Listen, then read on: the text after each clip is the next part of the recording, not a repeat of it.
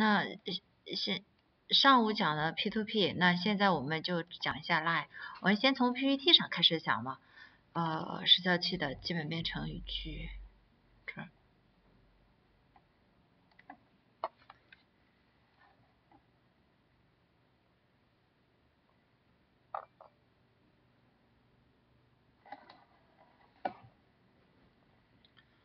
嗯。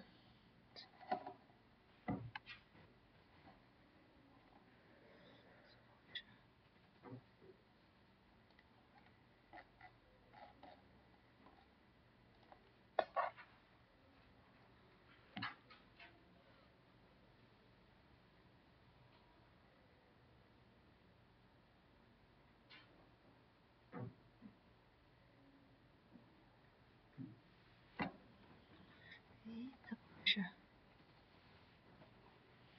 嗯，那我们看我们的运动语句，呃，P to P，那 P to P 是以最快的方式到达你想要的位置，然后中间路径不保证，然后 Line 就是点，也是点到点的运动，啊，它是让机器人从当前位置走直线到达你指定的位置，啊，这是 Line，啊，到达你指定的位置 A，啊，同样。呃，同样，它也是新建新建运动语句 line 这里边第二个 l i n e 的缩写 l i n 啊，点击确认之后，它就进入到这个界面，line 到哪里呢？line 到你指定的那个终点 A 位置 A，也是点击新建，建一个位置变量，用这个位置变量来存储你的终点信息啊，然后，然后。这是走走 line，那我们我我我我给你演示一下。现在你看，我们是 P to P 到 A P 零，P to P 到 C P 零，然后再从 C P 零走一条直线到达一个 C P 一啊啊，比如说我们用第七八九十这个来做啊，第九行的下边我们写一条。从 CP 零走直线走到 CP 一，点击新建。嗯，你看运动语句里边第二条 line L R N，嗯，点击确认。确认之后，它就第一个变量 POS 冒号 position，也就是说这个是存储的位置 position，它的位置类型，它属于位置类型啊。然后需要建一个变量新建，点击左下角的新建。然后建一个，也可以建一个 x position，可以建一个 cut position。比如说这里边我们建一个 cut position，然后名称是 cp 一，你可以修改，也可以不修改。啊，范围是 program 范围，也可以是 global，也可以是 project 范围，都是根据自己定义的。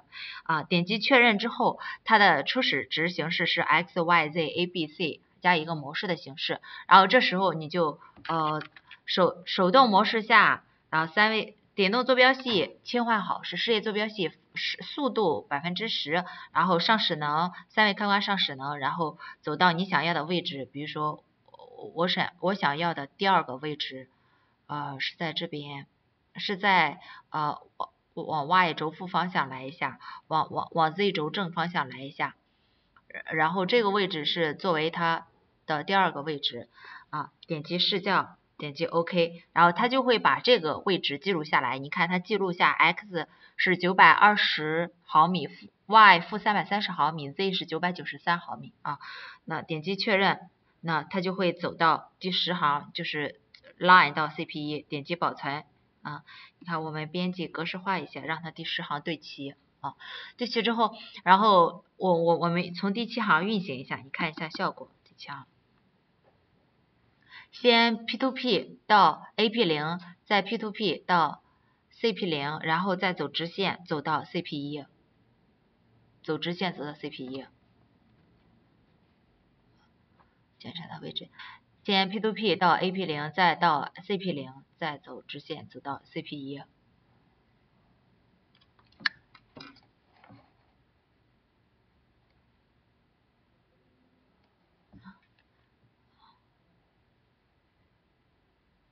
走到 CP 一，在 P to P 到 AP 零，P P to P 到 CP 零，走直线走到 CP 一，能看出来吗？还没走到 CP，CP 一，这是 CP 一，然后 P to P 到 AP 零，然后 CP 零，然后走直线走到 CP 一，啊，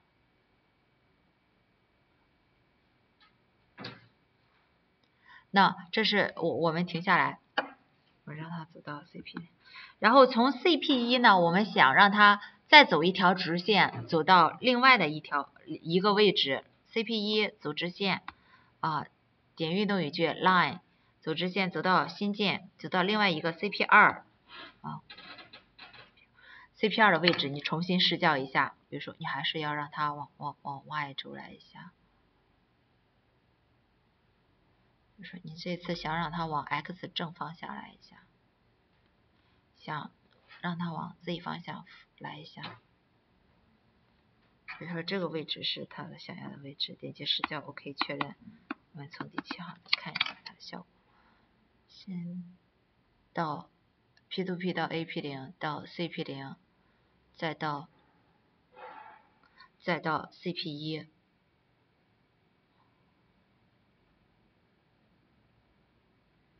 然后再到 CP 二，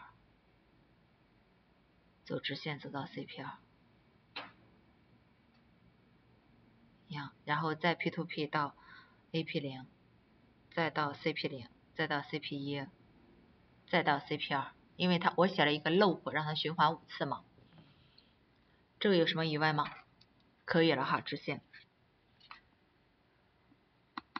来看，然后这是走直线，我们走直线的时候，我们还要看一下，它这里边还有一些一些东西。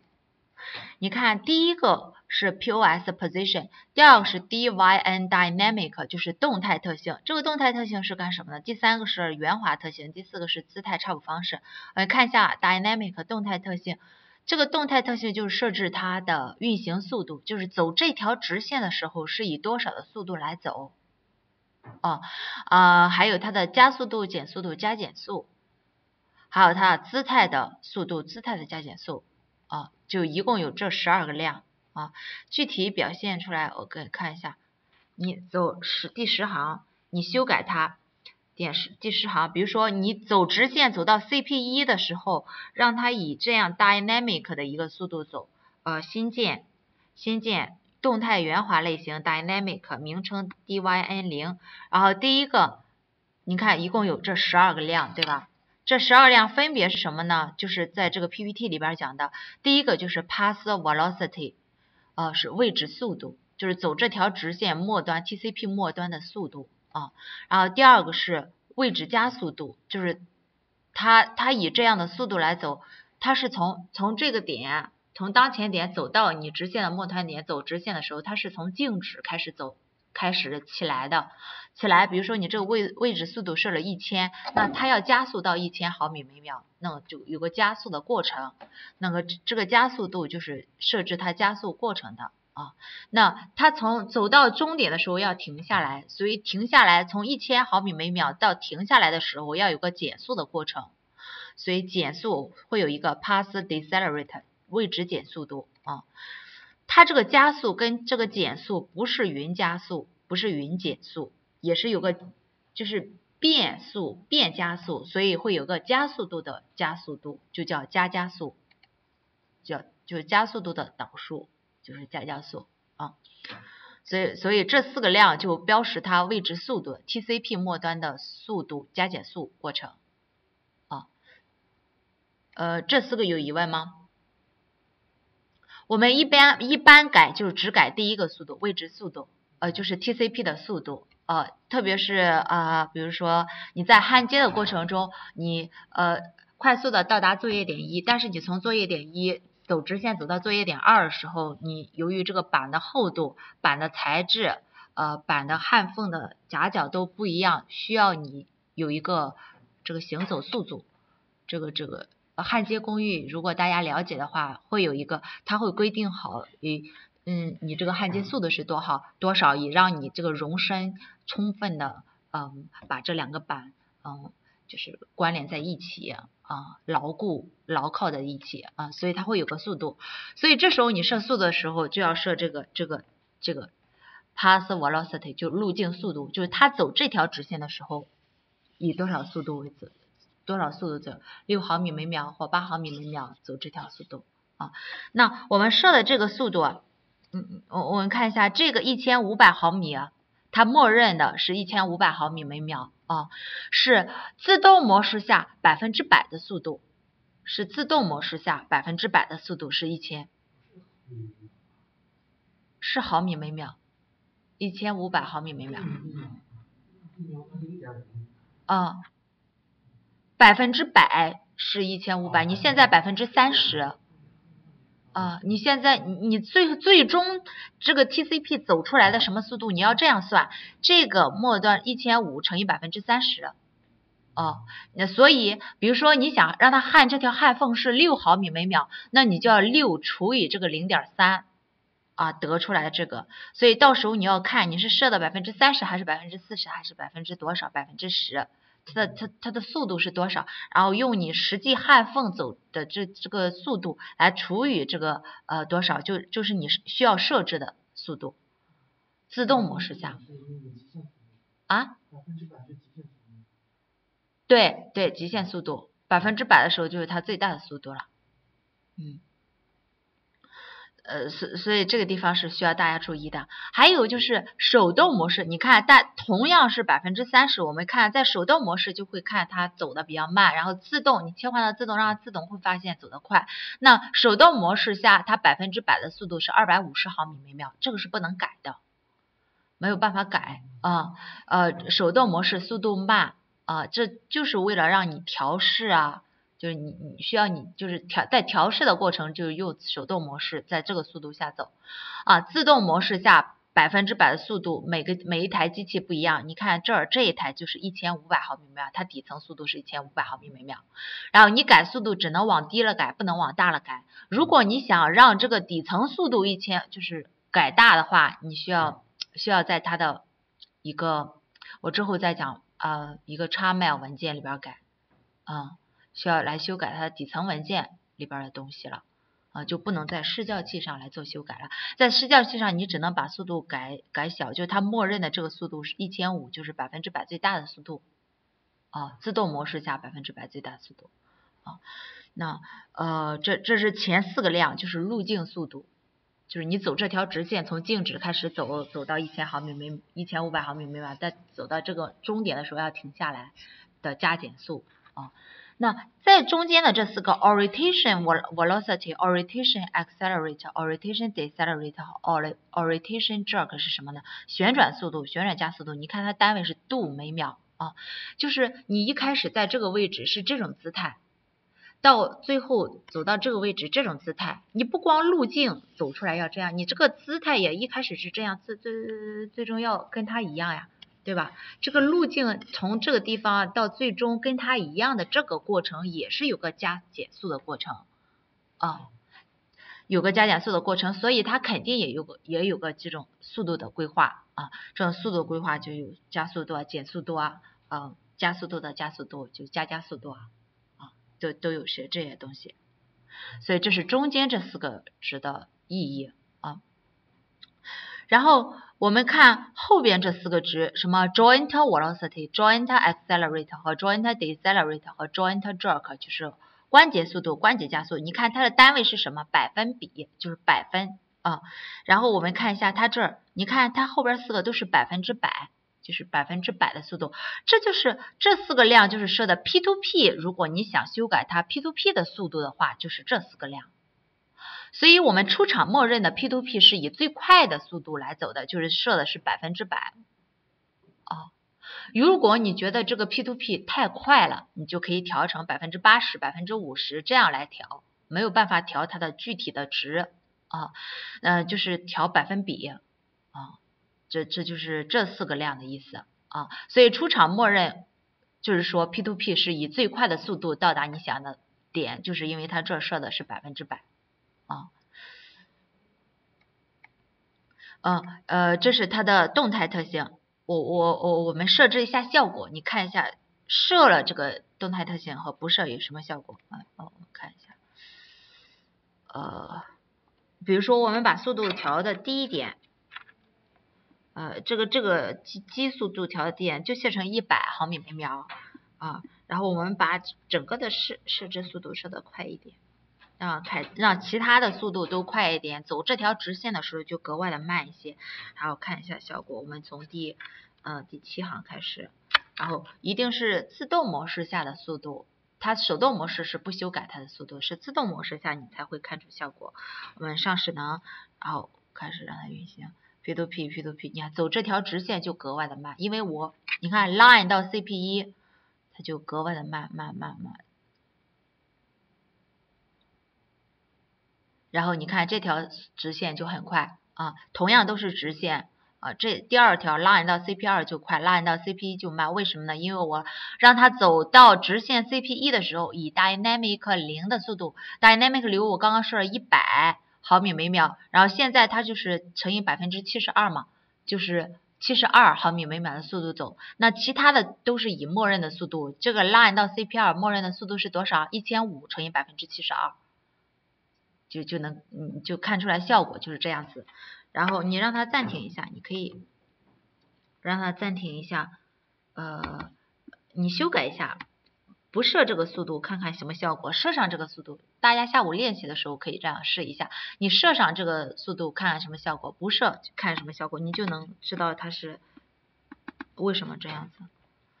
它它具体效果什么样子？你看不设它就很快嘛，走第走这两条直线是一样的速度。刚刚设上它就很慢，走到 CP 一就很慢啊。那这是 line 到 C，这是 dynamic 动态特性，这个会经常用的。经常用的，那我再继续，这个 dynamic 写到这里边，line 到 CP 一是走这条直线，是以 dy dyn 零的速度来走。如果我写在的外边，新建，然后设置语句，设置语语句里边，你看第第一个 dyn 就是 dynamic，点击确认。我就是选择 dyn 零，点到外边，你点击确认之后，你就看第八行，你看 dyn 括号 dyn 零，那么这样就是一个全局的速度，就是说接下来走的直线都会以这样的速度，直线、圆弧都会以这样的速度来走，哦，这就是它放在外边跟放在里边的区别。放在放在第十一行这里边，就是说它只走这一条直线的时候是这个速度走，其他直线按默认的速度。那如果放在外边的话，那就是说走这一条之下的语句的时候都以这样的速度来走。哦，这这个希望大家注意一下。那这是 dyn，那我们再继续往下看。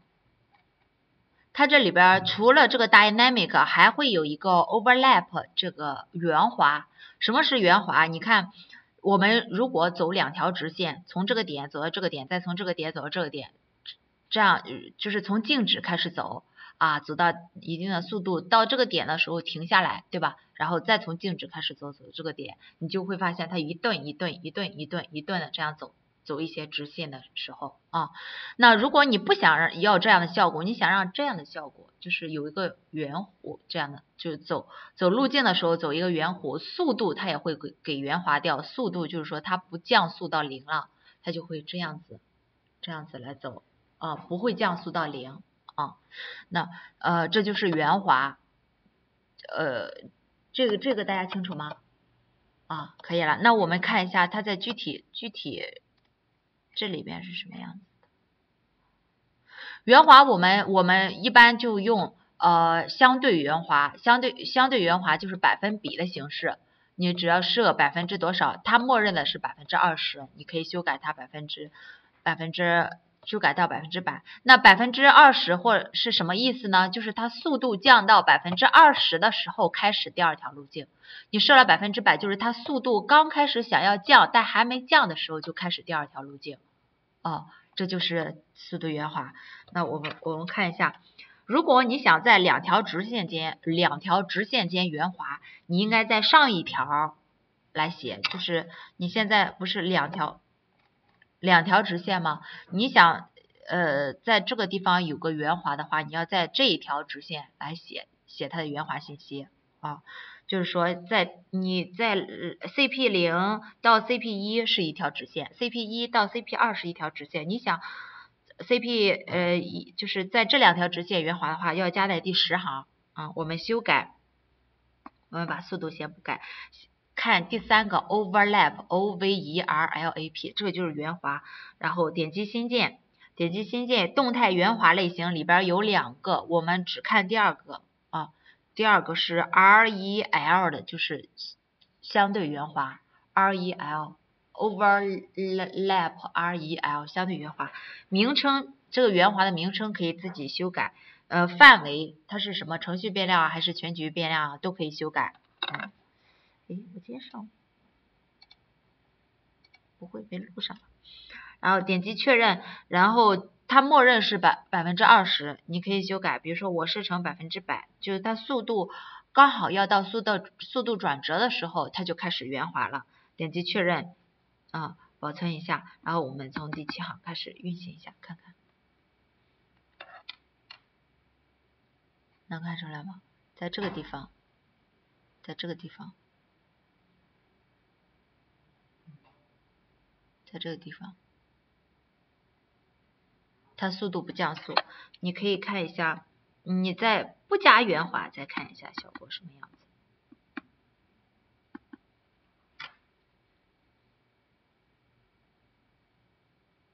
能看出来吗？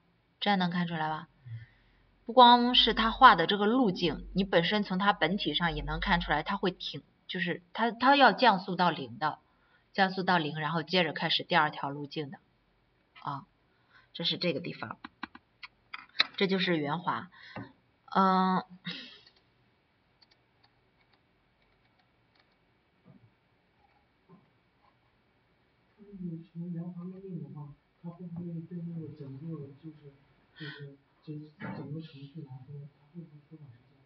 对啊，用圆滑就是可以缩短时间，啊，但是所以用就是这些每一条指令都有它的好处、优优点跟缺点，它可以缩短时间。但它缺点是不能保证路径。你如果确定的要到达这个点的话，你就不能加圆滑。你要是想提高节拍的话，你就可以加圆滑。对于一些嗯中间的过渡点，就可以加圆滑。真正的作业点，嗯嗯，确定要保证路径的那些作业点就不能加圆滑。啊，只有这个。嗯，那今天今天就是讲这些啊。然后。